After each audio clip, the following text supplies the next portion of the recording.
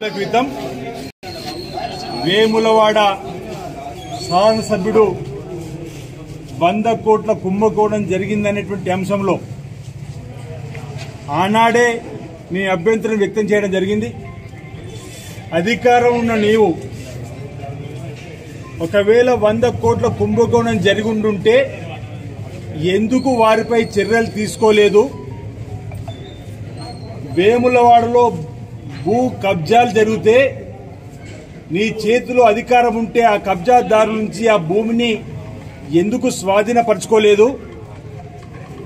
రెండు వేల పద్నాలుగు ఎన్నికల కంటే ముందు కూడా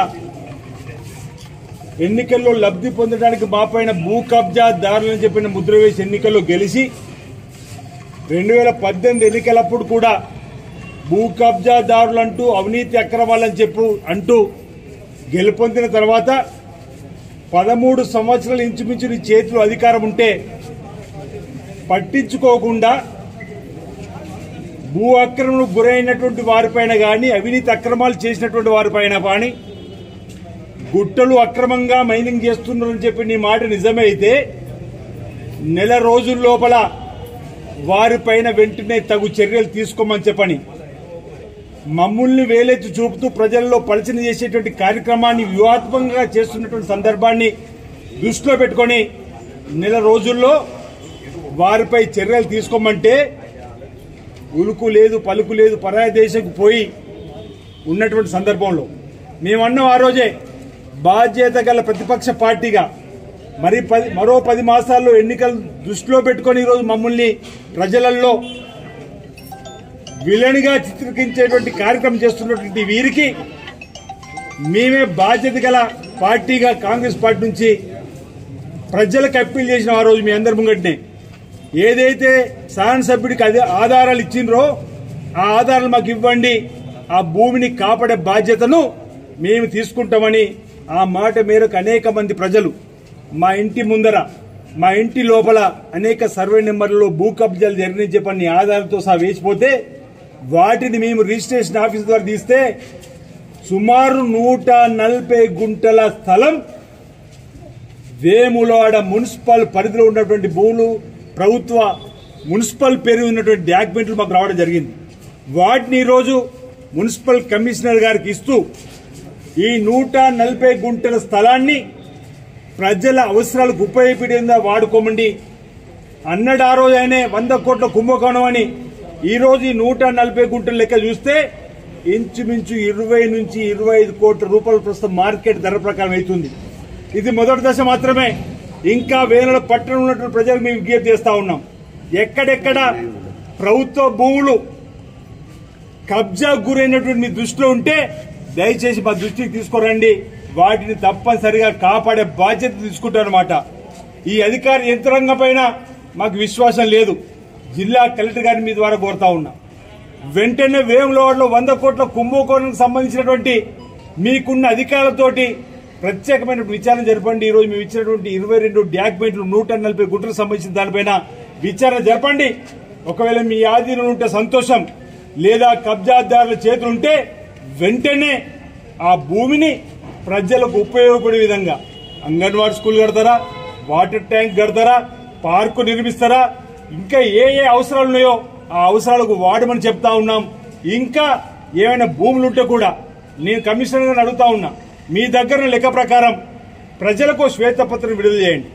మా వేములోడ మున్సిపల్ పరిధిలో గీ గీ భూములు మావి అని మీరు చెప్పాల్సినటువంటి బాధ్యత తీసుకోమని చెప్పిన సందర్భంగా నేను కమిషనర్ గారిని సందర్భంగా కాంగ్రెస్ పార్టీ పక్షాన కోరుతూ ఓవైపు గుట్ట అంటాడు ఓవైపు ఇసుక అంటాడు ఓవైపు మైన్స్ అంటాడు ఓవైపు వైన్స్ అంటాడు ఇన్ని కూడా అధికారులు ఉన్నవాడే ఆరోపణ చేస్తే ఎలా అంటున్నాం?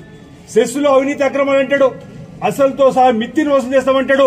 సెస్ ఎన్నికలకు ఒక్కరోజు ముందే పరాయి దేశం పోయి గెలుపు ఓటర్లను కూడా శాసించే స్థాయికి నేను అన్నవాడే గెలవాలన్నటువంటి ఆలోచనతోటి ప్రజాస్వామ్యాన్ని కూని చేస్తూ ఈరోజు సార్ కళ్ళల్లో ఆనందం కోసం పనిచేసే అధికారులు కూడా మేము హెచ్చరిక జారీ చేస్తా ఉన్నాం. ఇప్పటికే చూసి సార్ కళ్ళల్లో ఆనందం కోసం పనిచేసేటువంటి వాళ్ళు. ఒకరు జైల్లో ఉన్నారు ఒకరు సస్పెండ్ అయినరు మరొకరి మరొకరి ఒంటి పైన చొక్కా పోయే పరిస్థితికి వచ్చిన అధికారులు తీరు మార్చలేదు ఆ ఒకరిద్దరు అధికారులు కూడా తీరు మార్చుకోవాలని చెప్పి మేము కోరుతా ఉన్నాం. ఎల్లకాలం శాశ్వత అధికారం మీదే కాదు మేము అధికారంలో ఉన్న ఆరున్నర సంవత్సరాలు నాకు బాగా గుర్తు. ప్రజా సంరక్షకుడిగా మాకు ప్రజలు అవకాశం ఇచ్చినప్పుడు ఇదే వేములవాడ పట్టణంలో రెండు గుంటల స్థలాన్ని కాగితం ఉంటే సుమారు ముప్పై ఆరు గుంటలు కబ్జాలకు గురైందని చెప్పని గ్రామ వేల పట్టణ ప్రజలు చెప్పగానే అధికారి యంత్రాంగంతో మాట్లాడి జిల్లా కలెక్టర్తో మాట్లాడి ఆ ముప్పై రెండు గుంటలు ముప్పై మూడు గుంటల స్థలాన్ని దేవాలయానికి పదిహేనో పదహారు గుంటలు ఆర్టీసీకి పదిహేనో పదహారు గుంటలు చేసి ఈరోజు ఆస్తిని కాబడినాం ఈరోజు దాని విలువ సుమారు ముప్పై కోట్ల వరకు ఉంటుంది అనేటువంటి మాట సందర్భం చెప్తా ఉన్నాం.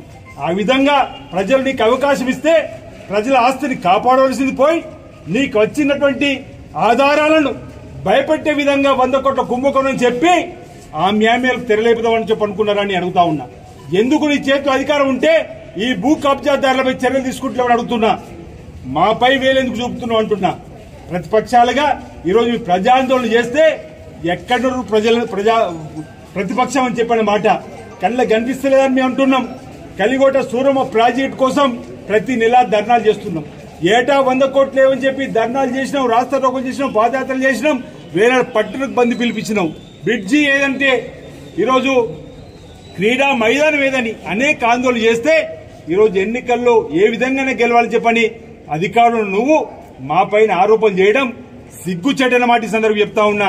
ఇక్కడెవరు కూడా భయపడేటువంటి పరిస్థితులు లేరు. ఈరోజు నీకు అధికారం ఇచ్చిన దానిలో ఫెయిల్ అయింది నువ్వనే మాట చెప్తా ఉన్నాం.